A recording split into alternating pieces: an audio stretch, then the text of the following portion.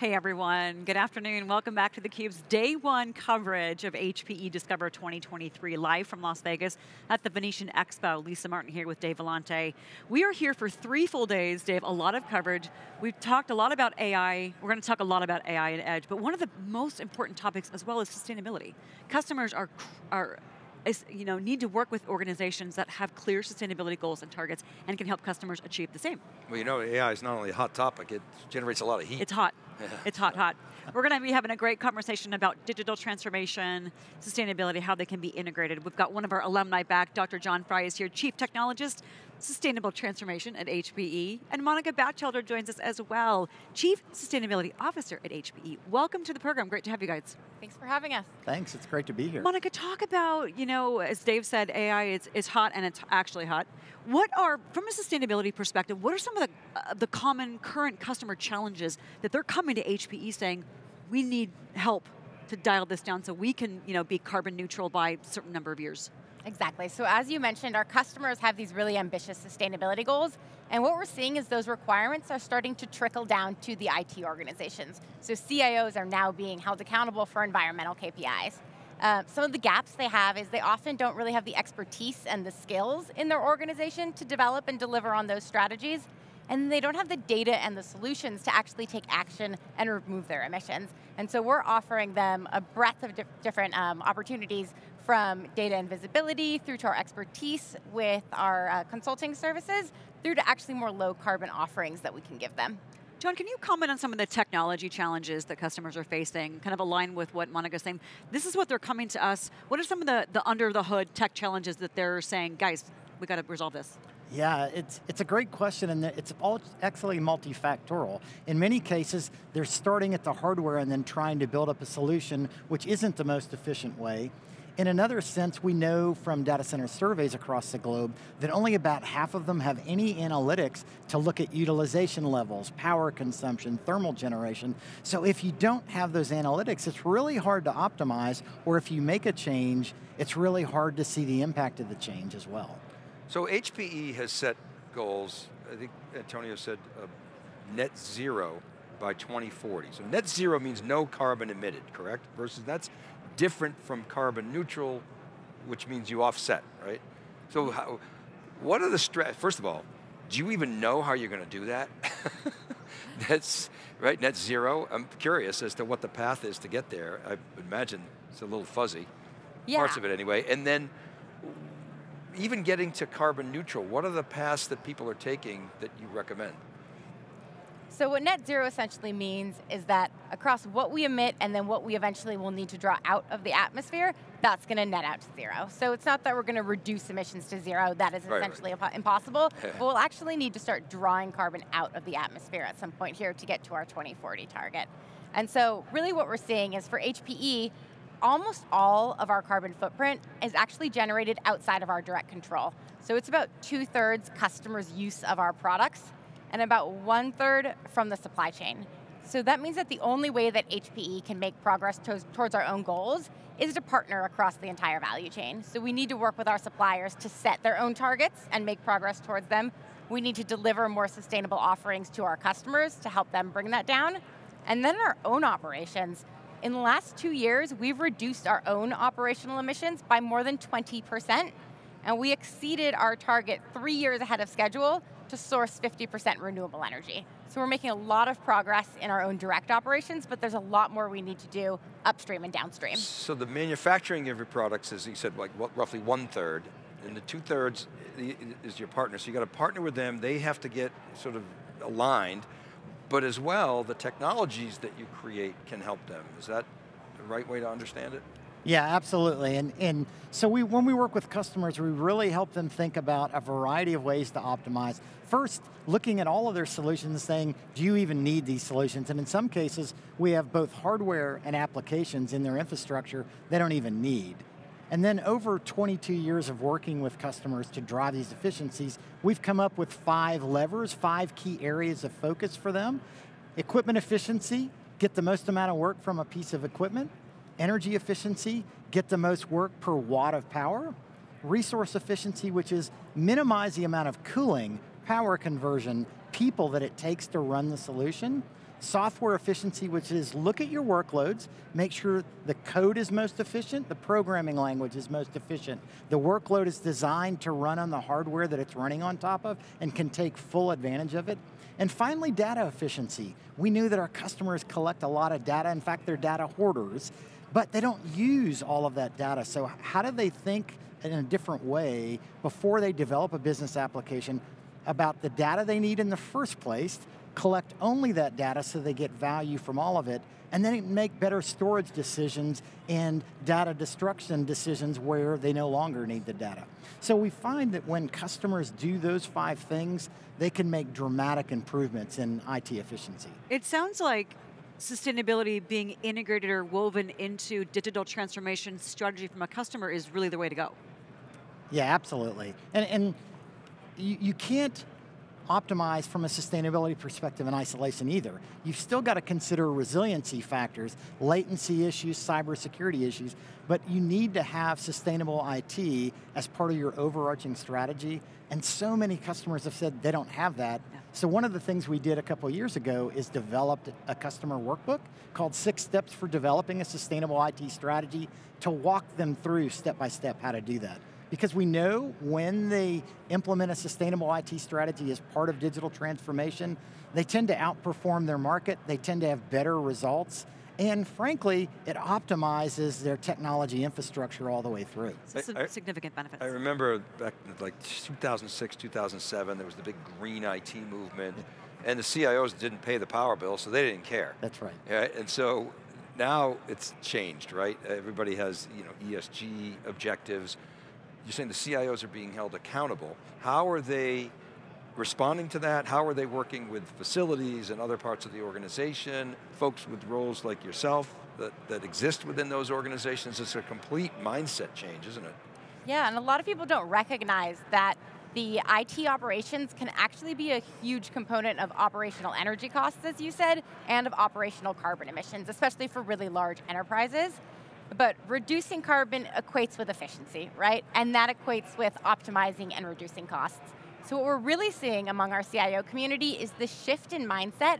They're rethinking sustainability from being sort of a cost center, as it was considered in the past, to actually being an enabler of their of their business goals and their digital transformations as well that key in, uh, word that you just mentioned, Monica, is enabler. And you, you mentioned um, the workbook, because I was wondering, with the two thirds that you said, two thirds is uh, in terms of energy uh, emissions and things is out of HPE's control. You have to work with the ecosystem of customers and partners.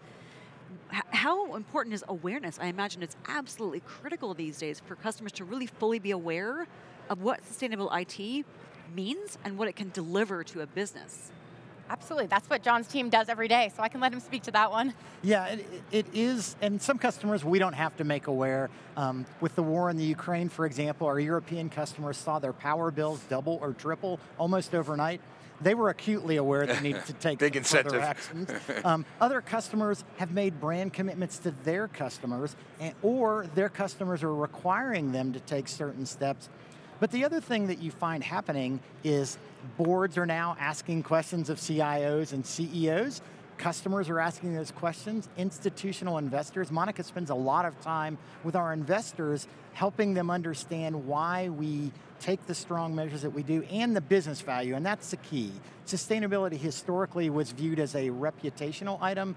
It's absolutely a revenue driving opportunity, it's a cost savings opportunity, it's a business efficiency opportunity. So what we find in our varied customers around the world, one or more of those aspects bring this to the forefront in their minds. So I asked earlier, do you even know how you're going to get to net zero by 2040? And you, I think you gave a good answer. First of all, you got to work with your ecosystem. You got you you control a third, two thirds is sort of not completely outside of your control, but it's you got to have partnerships to do that. Are, my question is, are those five vectors that John mentioned uh, the, the path to get there, and how do you think about the countervailing effects of GPUs and AI, sort of offsetting, it's like every time we get a new iPhone, it runs faster, but there's more data on it so you don't notice kind of thing. Yeah, so we believe those are the right five levers, and they're, they're vary in intensity for each customer, and they apply, by the way, from the public cloud all the way to the edge. So we, we think those are the right five things, and as we get increasing use of accelerators and higher core count processors, they're even more important. So for example, we'll find customer workloads that can use one core, running on a piece of hardware with a GPU and a 64 core processor in it, that's really inefficient. So uh, it's the situation's going to get more critical that we take these five levers. And then we're even encouraging customers on both ends of that spectrum. One is if they're going to use renewable energy, and we know that renewable energy generation is not constant all, all, hours of the day and all days of the week based on climate conditions and things. So we can move workloads around actually and run them when we have a higher intensity of renewable generation on the front end on the back end, the number one waste in technology is heat. Yeah. And historically, we've just thrown it back to the atmosphere to get rid of it. Well, actually, there's value in heat, and so we have customers, particularly in Europe, that are saying, let's recover that waste heat. And in fact, if we need to make it a little higher, we can tweak some settings in the IT infrastructure to generate a little more heat, particularly where we have liquid cooling. And then we can sell that heat as a product, either for district heating, sustainable aquaculture, um, greenhouses, or various things like that. So all of a sudden we're taking what was a waste and now making it a saleable revenue product. That, and that visibility for organizations is critical that they didn't have before. I'm curious, you mentioned the, the workbook. Uh, I imagine you talk with a lot of investors, as John was saying. What about customers from like a, a, a customer committee perspective? To, did you work with customers to develop those five um, uh, levers that you talked about? How are they involved in helping HPE get to net zero, like Dave was saying, how are you going to get there? Yeah, absolutely. We take feedback from customers. We actually update those workbooks probably about every two years to make sure they're current. We ask customers for feedback. We ask them for what other white papers and resources they want from us to be able to make an impact. And then we're actually embedding it across our offerings too. So John mentioned renewable energy. One of the things we're announcing here is HP GreenLake for large language models. That's actually going to be run on uh, in co-location centers that have nearly 100% renewable energy. So yes, we have to offer them more sustainable solutions, but how that IT is powered is just as important. I saw a stat in one of the slides. I think it, it, locating it in a, a, facility that has 290 days of essentially winter weather, right? So you know, it's pretty cool. So you can use ambient air, right? I'm still get, trying to get my head around how you sell heat what do you have to heat the heat to make sure it doesn't lose heat? Thermodynamics. But um, so how does that work? Is it a pipeline? That, that's amazing. Yeah, it is. And I'll, I'll, give you a real life customer example. So Danfoss is a big customer of HPE's. They were an early GreenLake customer, and in fact, their data center sits in a, in essence, a shipping container. We call it a performance optimized data center. So it's on a gravel pad out by their headquarters with some of their manufacturing facilities nearby. The IT is all liquid cooled, so that liquid cooling loop, um, and when, when we say liquid cooled, we really mean almost 30 degree water or even higher. So by the time it comes out of the IT stack, it's even warmer than that. Well, they're co-located with a village that has district heating. So much like other utilities, there's a heating grid that goes through the entire village. So they actually take that warm um, liquid coming off the IT stack, extract the heat. That's one of the businesses they're in, is these heat pumps that extract that heat and provide that as a saleable product to the district. So they provide the heating for that whole village around their corporate that headquarters. so clever. And increasingly, there's more and more opportunities to do that around the world. And so what we love about that relationship is Danfoss has come to HPE and added this whole perspective around heat reuse. They build the technologies to do that and partner with us. In the same way, they leverage HPE's sustainable technology solutions like HPE GreenLake, many of our professional services. So it's a great symbiotic relationship that turned into new market opportunities for both companies. That was a word that just popped into my mind is symbiosis. Yes. Fantastic. Monica, lead us out here with some of the, the key future trends that you're thinking, as Dave was talking about, you know, with the emergence of AI, large language models announcement this morning, AI as a service. Uh, I think Antonio even said something like, and I've heard this from other leaders before, if you're not already using AI in your business, you're already behind. So what are some of the future trends that you're seeing that HPE from a sustainability lens can help its customers tackle? Yeah, so if you think about customers' growing demand for compute resources, that makes sustainability all the more important, right? As you scale that IT, you're going to hit constraints like power, space, cooling. And so you really need to be developing a sustainable IT strategy that's holistic. You know, a lot of our customers are taking actions. They're doing a few things. Very few have a holistic IT strategy that looks across their you know, edge to cloud, hybrid IT, multi-vendor estate. And so we're really focused on helping them, give, give them solutions to help them manage that bigger picture. Yep, and it's all about that, that visibility to have that bigger picture. As you talked about, sustainable IT is now uh, such an important component to businesses. It's a board level conversation. Yep. It's for every business and every industry. John, Monica, thank you so much for joining Dave and me on the program, talking about what HP is doing from a corporate perspective, from a technology perspective, and how you're really being symbiotic with customers and partners. We appreciate your time. Thanks for having us. Thanks, guys. Thanks. Our pleasure. For our guests and Dave Vellante, I'm Lisa Martin. What's up next, you ask? Brandon Whitelaw of Qumulo. He's going to be here talking about in, uh, industry position, HPE partnership, and why scale anywhere is the new thing. Stick around. We'll be right back.